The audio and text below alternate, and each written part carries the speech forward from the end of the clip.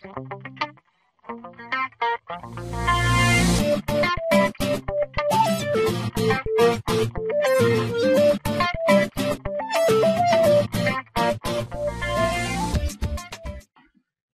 guys, in this video I'm just going to show you um, a lot of people with bootloaders have trouble where the, it's too, like it's got a lot of colour on it.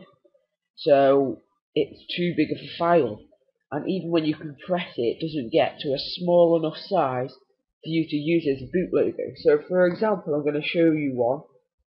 So uh, I'm just going Redsn0w here. I'm just going to browse this. So I'm just going to show you exactly that. I, am just, I've got an image already, and it's like a Windows 7 style one with a silver background, and um, so I'll just show you that it is too big, and then I'll show you that it works in a minute. So obviously, if you're doing it and you're already jumping, you're already paying for this is just a boot logo help. So I'm just going with my boot logos. As you can see, I've got this one here that I want to use. Uh, this Windows.png, and then it says it is 201,000 bytes, but it has to be 102,400 bytes or less. To try reducing its complexity. Now, with this, um, it's about well, 50, maybe no more than 50,000 K is about 100,000 bytes. That's what you're aiming for which is a pretty small, well, really small file. So I'm going to go ahead and just cancel out that. I'm going to show you what I do.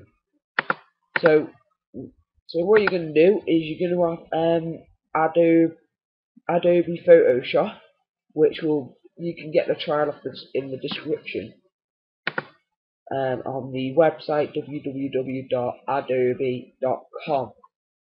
So that all that will be there'll be more info in the description, so you just check that out. Alright, so then I'm going to open up that image, one which was too small, which is the PNG file, not the J JPEG, the PNG. So all I'm going to do is bring it into here. Now the quality will go down very slightly, but not much. So what you can do is you're just going to get your image in here. Now it works with this image, but if you've got one with loads and loads of colours, you're probably going to have to get rid of quite a lot of the uh, quality. But yeah, this kind of image is good for, it. So once you're in the um, Photoshop, you're going to just open up your image, as I showed you there. So just Control I will just click File and Open. Browse your image and open it up. Now don't forget the image has to be um, 320 pixels by 480 that so its width is 32480 and that. So make sure they're right. And then you're going to go File, and then on here you're going to save for web and devices. Alright, so once you click this, you're going to get this window that pops up. Now, for this image, um, basically you just want to set, come here and it'll open up. And you want to make sure over here, that should be unnamed you want to make sure this one's PNG 8. Now it tells you the size down here. And as you can see that is 42k. So already this is going to be fine. But if you really have a big one, as you can see it goes a bit, the colours, there's not as many colours, that's why this is going down a bit, the main Windows icon, but the size is going down a lot. So if you put that to two colours, which obviously no one's going to want, that's going to go to 10. But for this image, 256 works brilliantly, and on my device, it looks really good quality. So you're going to make sure, so this differ as well will probably be about 88, which I can't see, uh, it'll probably be about, change this, and if you see the image, it changes, oh, I've just closed to 1%, and you can see the streaks on it, but the size goes down, but this doesn't change much, so I keep size at 100. And then, all you can do is once you've got this and you've got, oh, just mess about really.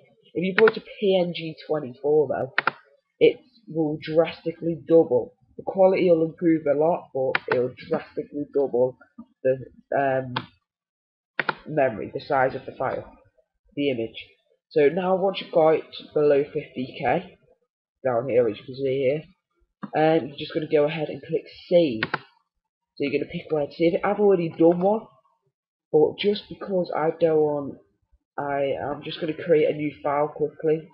Just create one, then I'll just put test, and I'll put it in here for you guys, and I'll, I'll call it just so you can see. As you can see, it's a PNG, and I'll just put it test image for boot. So I'm just going to save that. Now that's saved, I'm going to go ahead and run red snow. So when when you double click, you're going to have to browse your deal on it. Uh, let do all this. Um, custom uh, custom recovery as well. Say so. Anyway, put that there. I'm going to go on custom boot logo. I'm going to go ahead and go on my libraries, my pictures, and as you can see, I've got test there. And here's the image. So it says test image for boot.png. Double click, and there you go. It's it's ready to go. So I'm not going to do it. I'm not going to show you anymore. But if I click next, it hasn't stopped me in any way. It's just telling me to do all this, and then you'll have your boot logo done. So, um, yeah, thanks for watching. Don't forget to rate, comment, and subscribe. I hope this has helped a lot of people with the, because uh, compressing can be a bit difficult, as it doesn't always compress to the right size. But that way you can control it and get it as low as possible, but it does sacrifice quality. So do remember that. Alright guys, so thanks for watching.